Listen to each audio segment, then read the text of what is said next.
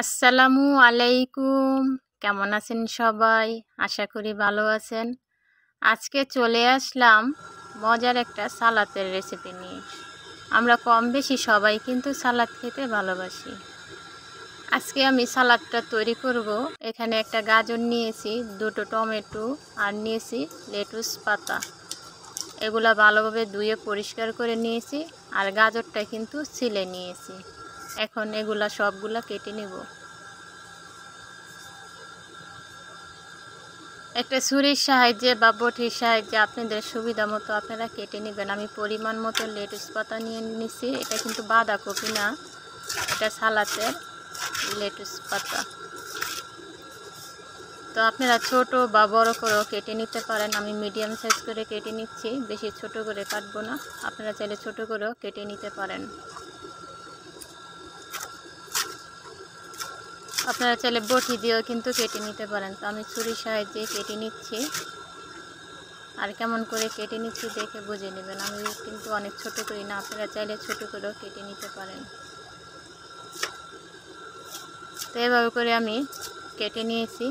এখন কেটে নিব টমেটো। এখানে আমি দুটো টমেটো নিয়েছি। টমেটোগুলো ধুয়ে পরিষ্কার করে নিয়েছি। এখন কেটে নিচ্ছি। আমি মিডিয়াম সাইজে করে কেটে নেব। আমার সালাতের রেসিপিটা যদি ভালো লেগে থাকে, অবশ্যই লাইক কমেন্ট শেয়ার করবেন। সবারই দেখার সুযোগ করে দিবেন। আর আমার চ্যানেলটা অবশ্যই ফলো করে দিবেন। তো দেখে বুঝে নেবেন আমি কেমন করে কেটে নিয়েছি। বেশি বড় না, বেশি ছোট না। মিডিয়াম সাইজের কেটে নিয়েছি টমেটো।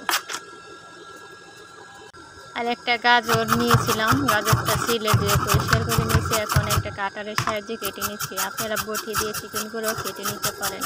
আপনাদের সুবিধা মতো আপনারা সালাদগুলো কেটে নেবেন। আমার ভিডিওটা যদি ভালো লেগে থাকে, বেশি বেশি করে শেয়ার করে দিন অন্যকে দেখার সুযোগ করে দিন এখানে একটা কাচের বল নিয়েছি। কাচের বলের মধ্যে নিয়ে নিলাম। কেটে রাখা লেটুস পাতা। কেটে রাখা টমেটো কুচি, এক এক করে আমি সবগুলো এক উপকরণ একসাথে করে নিব। দিয়ে দেব গাজর কুচি। আপনারা চাইলে আরও আইটেম দিতে পারেন শশা দিতে পারেন ক্যাপসিকাম দিতে পারেন, ধনিয়া পাতা দিতে পারেন। এখন দিয়ে দিলাম গাজর কুচি।